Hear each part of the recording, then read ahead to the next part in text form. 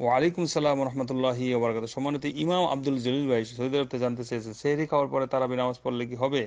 আলহামদুলিল্লাহ সাল্লাতাম আল্লাহ রসুল্লাহ মাবাদ সম্মানিত আব্দুল জলিল ভাই তারাবি নামাজটা হলো কিয়ামুল্লাইল রাত্রে প্রথম অংশ পড়েন আর শেষে পড়েন, যে অংশ পড়লেই হয়ে যাবে। আর সেহরি খাওয়ার পরে পড়তে হবে, সেহরি খাওয়ার আগে পড়তে হবে, এটা তো নয়।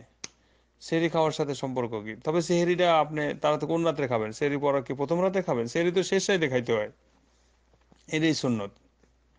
সেটা তো শেষ রাইতে খাওয়াটাই সুন্নত সেটা কি একটা দুইটা বাজে খায় নাকি মানুষ?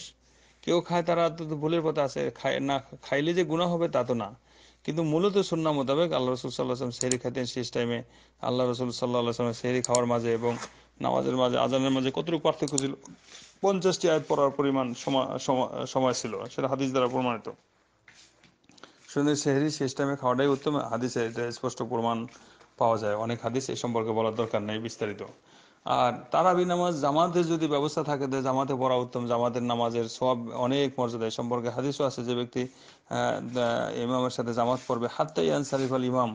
যে পর্যন্ত ইমাম না যায়, সে পর্যন্ত যদি ইমামের সাথে পড়ে কুতিবালা হোক কিয়াম আলাইলাতি তাই ওই রাত্রি কিয়াম করা, কিয়াম তার জন্য লেখা হবে। আর যে ব্যক্তি রমজান মাসে সোয়াবের আশায় ইমানের সাথে কিয়াম করবে, তার পিছনে গুণা মাফ করে দেওয়া হবে। এই জন্য তারাবি নামাজ যদি জামাতের সুব্যবস্থা থাকে, সেখানে জামাতবদ্ধভাবে ইমামের সাথে নামাজ পড়া আসা এটা খুব ভালো কাজ, এটা খুবই উত্তম কাজ। এই সম্পর্কে আমাদের লক্ষণীয় লক্ষণীয় বা লক্ষ্য রাখা উচিত, সতর্ক হওয়া উচিত।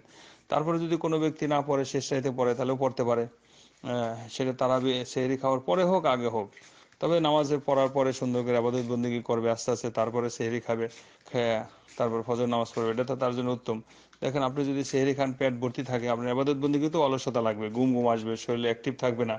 এগুলি তো স্বাভাবিক দৃষ্টিতেই বোঝা যায়। সুতরাং ধীরস্থির ধীরস্থিরভাবে যা কিছু আবাদত বন্দী করার পরে আস্তে যায় কাজ সমাধান করবে।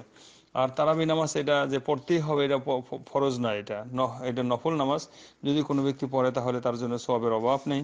না বলে কোনো গুণা নাই রোজারও কোনো ঘাটতি নেই।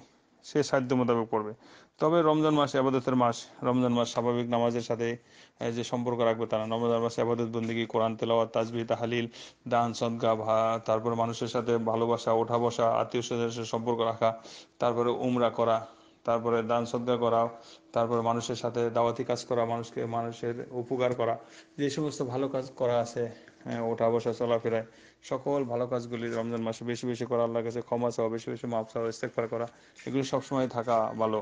আল্লাহ আমাদের সবাইকে সুন্দরভাবে আমল করা তৌফিক দান করুন। হাজর সাল্লাহ তালা নবীনা মোহাম্মদ, আসসালামু আলাইকুম রহমতুল্লাহি বারাকাতু